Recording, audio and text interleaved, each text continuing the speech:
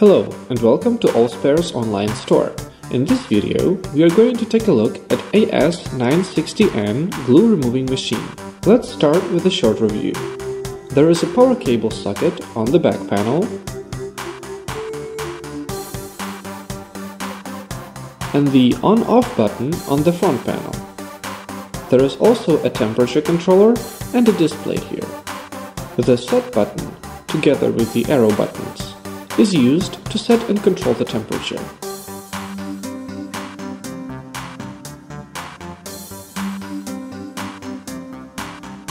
The recommended temperature range is between 80 and 110 degrees Celsius.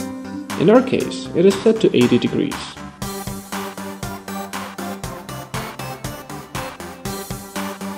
The display module is put on this platform. Thanks to this silicon pad, which is included in the package content, the display will not move on the metal platform during operation. There is a blade here that heats up and removes the glue. Finally, there is also a micrometer, which is used to set the precise height for glue removal. The micrometer has two positions, fixed to set the height and remove the glue, and raised to place or remove a display module. So, let's see how everything works. We are going to use the Samsung Galaxy S3 display as an example. Switch on the device, set the temperature to the required value, in this case it's 90 degrees. Put the display on the platform. Make sure not to put the flat cable on the platform as well, just the display module. We have already set the micrometer to the required height. Let's try removing the glue.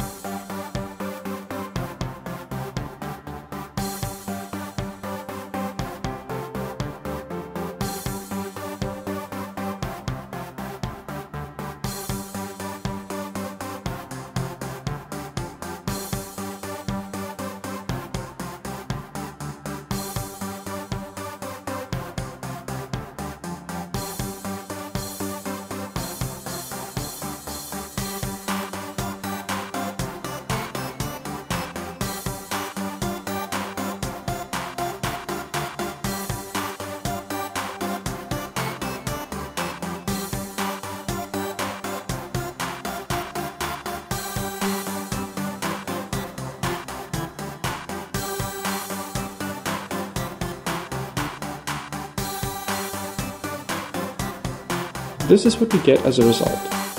There are still some small pieces of glue on the screen, but they can be easily removed with chemicals. This device is also capable of removing OCA films,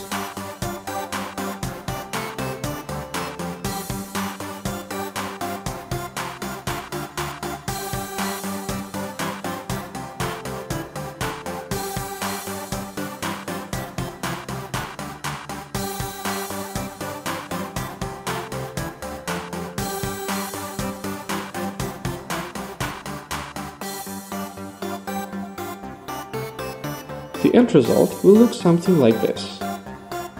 We can easily remove this little piece of film ourselves, and then use chemicals to clean up the display. Now we can take a look at the final result. In this display, we only removed the glue. In this one, we removed both the glue and the damaged OCA films. Looks great, doesn't it? This was a short review of AS960N glue removing machine. Like this video if you enjoyed it, subscribe to our channel and see you in our next video.